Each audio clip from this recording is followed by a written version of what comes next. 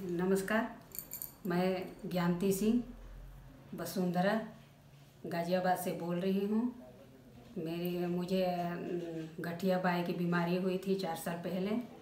मैं मेरठ से इलाज करा रही थी तो इलाज से थोड़ा बहुत सही हुआ था। फिर मैं वहाँ से कुछ परेशानी हुई, मैं चली आई दूसरे जगह, यहाँ गाज़ियाबाद। उसके बाद मेरी दवाई छः महीने छूट गई।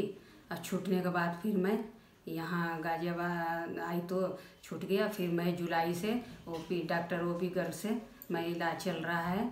अब उससे मेरा दर्द बिल्कुल सूजन वूजन सब खत्म हो गया है। अब दवाई थोड़ी बहुत चल रही है। दवाई, दर्द की दवाई भी नहीं खा रही हूँ, न ऐसे कोई इंजेक्शन उक्शन कुछ नहीं ले रही हूँ।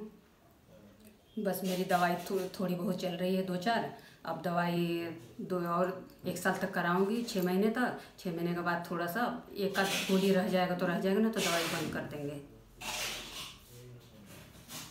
अभी कहीं कोई सूजन डिफॉर्मिटी वगैरह हाथ दिखाओ? नहीं है। हाथ दिखा दो। नहीं है हाँ। सूजन वूजन कुछ नहीं है। और सारा घर का काम कर लेते हो? नहीं है पूरा काम नहीं करती हूँ अभी। जब पूरा क्लियर सही हो जाएगा उसके बाद करूँगी काम। वैसे चलना फिरना कुछ सब कुछ कुछ भी दिक्कत नहीं है। चलने फिरने में भी कोई दिक्कत नहीं है। ना खाने में कोई परहेज है। स्टेरॉइड स्टेरॉइड भी नहीं लेना पड़ता है? नहीं स्टेरॉइड भी नहीं लेना पड़ता है। और पेन किलर भी नहीं पेन किलर भी नहीं लेना पड़ता है। अच्छा। ठीक है तो आप लेते रहिए दवाई।